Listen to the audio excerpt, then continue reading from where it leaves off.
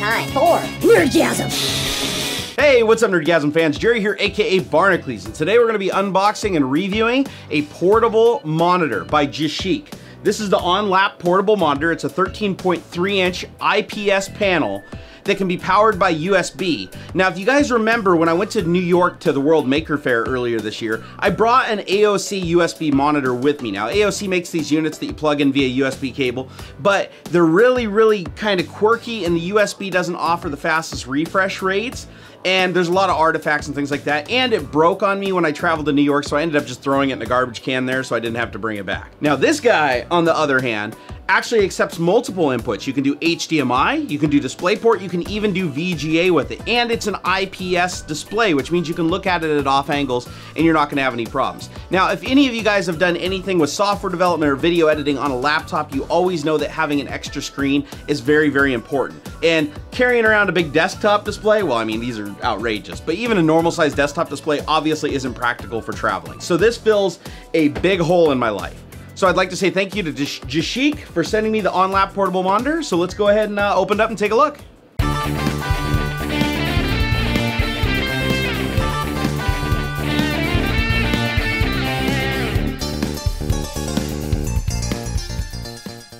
All right, well, the first thing I noticed is I like the packaging. It actually has a nice little carrying handle on it too, so you can actually use the box after you've opened it to transport it if you want. But my hope is that it'll fit comfortably into my laptop bag, because ultimately, this is gonna be an accessory for my laptop. However, if you wanted an auxiliary display for, say, your PC, to have like on your desk to display things like web pages and things like that as another monitor, but not have it be in the way, this would also be a great option. All right, let's go ahead and open it up. Looks like we just slide this out of the bottom, flip the top open. And we have foam. Oh, foam. Mmm. And we have what appear to be a couple little Velcro straps and a manual. Okay, I guess these are for keeping your cables managed. And a little manual that urges us to read it before we use this thing. Hmm, nah, we'll read it later when we need it. All right, so here we presumably have the screen. It's actually fairly lightweight. Let's go ahead and open it up. Ah, it's in this nice this is actually the same type of material they use for like when you buy cameras and stuff. They put them in, it's actually a really, really nice little bag. I might actually keep that just for keeping the screen from getting scratched up. All right, it says on the back here, it says how to take monitor out. It says that you just flip this up and pull it out. So you push and pull like so. All right, and there you have the screen. And it doesn't look all that dissimilar to like an iPad. Like I have a couple white iPads and they look similar to this, only a lot smaller. But I'd like to note that this is pretty cool because it comes with this cover that goes on it that protects the screen. So when you're sticking it in your laptop bag, you're not gonna have a problem with it getting scratched up. Also, it looks like it doubles as a monitor stand. It's got like this little magnetic guy that folds in. That's that's clever. I didn't know I had that. That's cool. All right, looks like we have some little compartments here with cables in them. All right, what do we have here? We have a pretty heavy duty looking HDMI cable. We have what appears to be a USB cable. It looks like it has two plugins for the laptop and one for the screen. Now they did this on the AOC monitor too, and the reason being is it requires a full two amps to operate. So by plugging it into two one amp USB ports, you get the two amps you need. Now what I'm wondering is if you can just plug it into a single USB if you have a port capable of delivering two amps. So we'll try that out in a bit. Now this is a nice touch. They included a wall adapter so you can actually plug this USB cable into the wall and it looks like it come, mine came with the right power adapter for where I live. I'm sure yours would too.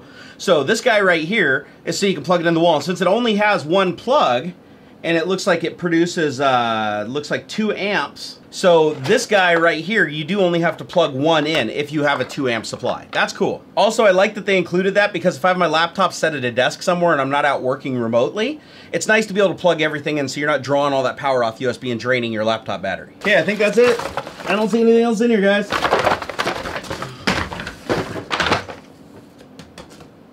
What you guys don't know is there's just a huge stack of boxes behind me taking up the whole other half of the room. First world problems. Okay, so the screen, here we have it. Let's go ahead and pull all this little plastic junk off of it. Looks fantastic. Does not look used at all. There are no scratches or anything on it. Now, just taking a quick look around on the side here, it looks like you have some controllers. I'm guessing like brightness up and down, something else, another control, a power button. I have no idea what half of those do, but we'll figure it out. It looks like you have a USB input, you have VGA, you have DisplayPort. Now, it kind of looks like you have another USB cable out. I need to figure out what that's for. Okay, maybe we do need to consult the manual. Okay, so according to the manual, there's two USBs on the monitor, and that's so you can run two separate USB cables if you need to carry one amp from each of them or you can just run one cable to one of them and it'll work just fine. It just requires 5 volts at 2 amps. Also, you have a VGA input, you have a mini DisplayPort input, an HDMI input, and headphones out. So that does mean that those are probably speakers on the display. It also says that if you're using HDMI or DisplayPort out, you will get sound from the screen. So apparently this thing does have speakers in it. So I'm guessing these are probably volume up and volume down. All right, so now if we take the base, the cool thing about the base here is that you can take this guy, put it where you want it. So now you can change the tilt angle. So there's there's the highest tilt angle right there. So it's sitting up, or you can lean it back so that's laying against the table, or you can lean it way, way, way, way back and just lay it flat. And it is rubberized. This is a rubberized coating on here, so it does grip the desk really well. It doesn't slide. I already ran into a little snag that I don't really like, and that's if you look at the side of this thing, it has DisplayPort, VGA, and HDMI, and they all use the same proprietary connector. And I know they're different, so the fact that it fits in each one of these little ports was a little bit cause for concern. Well, I did a little research and it turns out that you do need the specific cables for this for VGA and you need the DisplayPort. And the only one that they include in the box is the HDMI. Now granted, HDMI is the most common, probably, but notice it's a large HDMI and not the small one. So this would be good for like plugging your laptop or plugging this thing into a device like a DVD player or a bigger electronic that has a full HDMI. So if you want to use a smaller HDMI, you have to buy the converters and you have to buy the specific cables for this if you want to use VGA or DisplayPort. Now, what I did with my laptop was I have a little adapter here from Monoprice that goes from HDMI to the Thunderbolt so that I can plug it in as an auxiliary monitor. So I can just come over here and plug it into my Thunderbolt. There we go. I'm gonna go ahead and bring it around the back here, plug it into the screen, and I'm gonna plug it into the port that says HDMI. Okay, so now we have the power cable, which is included. We're gonna go ahead and plug that into the bottommost port, bring that around the back, plug it into the laptop. I'm just gonna start off by just plugging in one of the USB connectors.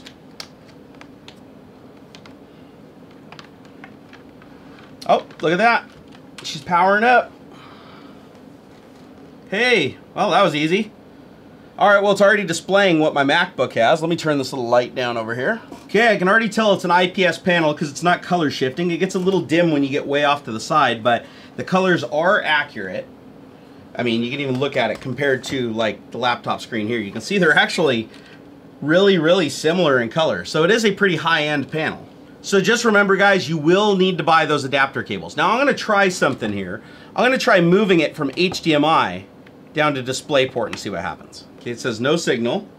Now you can open up the menu. There's a little button here on the side, and you can select which one you want. So DisplayPort, okay, no signal. HDMI, no signal. VGA, no signal.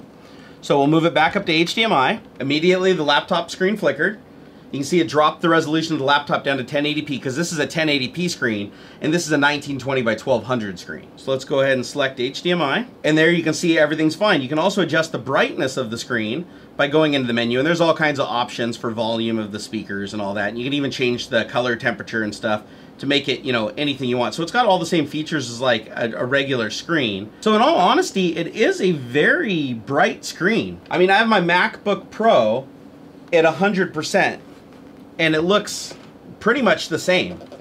The MacBook might be just slightly, ever so slightly bright, brighter, but not by much. All right, so let's go ahead and configure this as a secondary display. So now I have them in side-by-side -side mode, just like you do like on your desktop computer. And now I can drag windows back and forth between them. So here's my Twitter. We'll drag that over. And it's, it's a full speed display no artifacts, everything looks good. So compared to the experience I had with the AOC USB screen, this is light years beyond it because the AOC screen one, uh, the color wasn't that good on the screen and it had a lot of artifacts because it was transmitting the video signal over USB. And also when you were scrolling, it wasn't smooth at all and there was there was noticeable input lag. Since this is a true HDMI screen, you could actually play a game on it. If you wanted, you could hook up something like your NVIDIA Shield to this. You could hook up anything that has an HDMI out. You can easily connect to this. If your laptop has a display port, you have to buy that extra cable, which I'll try to find it and put a link to the video description. But with that cable, then you can plug it into anything with a display port. And if you have old school stuff like VGA or an old laptop with a VGA out, like honestly, I don't know who uses VGA anymore, but if you love your VGA, you can still use the screen. Okay, I opened up CSGO here on my MacBook. I'm gonna go ahead and get into the game. We're going to take a look. I'm trying to compare them looking at both screens because I know the MacBook has a really good screen on it. This is the MacBook Pro 17. Oh, pew, pew. I'm actually not playing with the mouse. I'm playing with the trackpad, so this should be interesting. Okay, so I'm looking for ghosting. There is a little bit of ghosting on the screen, but it's not bad at all. I've seen way worse just on stock laptop screens. But the color looks great on it. It is 1080p. Oh, man down, headshot. Now looking off angle, you do lose a little bit of brightness, but the color accuracy stays, which is what you want. That's how you know it's an IPS panel. Oh. Calm your tits, dude. Touchpad gaming at its finest.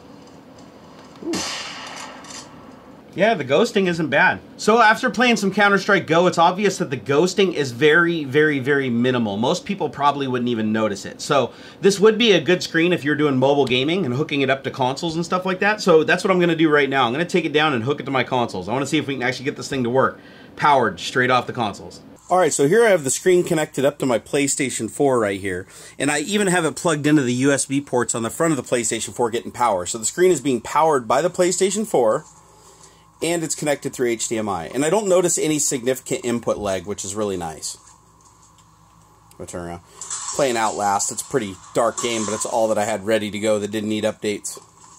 But that's pretty cool. You can just hook it up to a console and it works. So it's basically got all the same functionality as like a monitor or a television as far as inputs, but it's just very small and compact and easy to lug around. Now I plugged the Xbox One right down here into the GeChic screen and it worked perfectly. All I had to do was plug in one USB cable on the side. I didn't even have to plug them all in. Now the screen looks great. The brightness and color are dead on. This is Forza Horizon 2. I'm just running the intro. And the sound that you're hearing is actually coming from the screen. You can kind of hear it a little bit. But I'm going to be honest, that's full volume. It's not very loud. And the sound is clear, but there's like zero bass, as you would expect from something like this. So I wouldn't recommend this for sound. But for the picture quality, I think the color is impressive, and the IPS panel in this thing is actually very impressive for what it is. I could sit down and play games on this all day long. Well guys, overall the GeChic on-lap 13-inch screen actually worked really, really well. We have it sitting here attached to the MacBook Pro through HDMI. It works great. I only have a couple of gripes about the screen. Now, the biggest gripe that I probably have about the screen overall is that it needs all the proprietary cables. I wish they had just put standard HDMI and DisplayPort, the mini versions, on the side. Then you could plug directly into it and you wouldn't have to carry around cables with you. Aside from that, the rest of the cons that I just want to get out of the way real quick is that it only has the ability to sit in portrait. It doesn't have a landscape option. You can't adjust this thing on the back to put it in landscape. And honestly, when it comes to a screen like this, having it in landscape is a huge advantage because usually you want to use it for email and doc writing and stuff like that. So I do have a gripe about that, but the neat thing about it is, is I'm confident that I can come up with a jerry-rigged solution to make it work. Now, the speakers in the unit are pretty much weak. I mean, they're, they're almost a non-starter. I wouldn't even use them. They don't produce any bass and the volume level is very, very low. But on the plus side, the screen has a lot going for it, especially in this type of application. The biggest thing that I really, really like about this screen that I'll show you as I unplug it is that it comes with a protector. So you can pretty much just open this up, put it in, slap it shut, and now you don't run any risk of damaging your screen in transport, especially when you put it in your laptop bag. I'm pretty sure that's how my AOC screen got broken, is the screen was completely exposed. I'd slide in the laptop bag, things would get banged around, especially when I'm flying and stuff like that and taking it in and out so much. I like that this has that solution in mind. I also love that the screen has a menu button like a real computer screen. You can play with the color temperature settings, you can change the brightness, you can change the contrast, you can even adjust the sharpness of the display, which I think is fantastic and something that you usually don't see on little compact screens like this. I also love that it's very thin. It's not that much thicker than an iPad, so it's very, very easy to store and take with you, and it gives you quite a bit of screen real estate compared to what you already have on your laptop. Now you couple that with a true 1080p IPS panel, which is nice because you don't have to have the screen pointing directly at you to get color accuracy, which is really important if you're doing stuff in Photoshop and Adobe Premiere, which is what I'm probably primarily going to use this for when I'm traveling, is for video editing on my laptop. Now, obviously, if you're a gamer, this also has really great applications because if you're traveling, you can actually power the screen off of an Xbox or a PlayStation 4. Unfortunately, the Wii U didn't didn't power it. Even with two USBs, it couldn't produce two amps. Big surprise there, Nintendo. But uh, for the most part, it worked great with all of the consoles. It did show a very, very clear, crisp picture. And I did see a little bit of ghosting when I was gaming, but it was very, very negligible, and I don't think it would really affect many people's gameplay. And the input lag was almost non-existent. All right, well, there's only one last thing to do with this screen, and that's put it in the laptop bag. So let's start off. I've got my MacBook Pro 17. Go ahead and unplug all those. Slide her in. And then we got our screen, and of course we got to put the protector on it. So let's go ahead and pop it out. Flip it around. Pop it back in place. Okay, so we're all protected. Slide that in right in front of the laptop.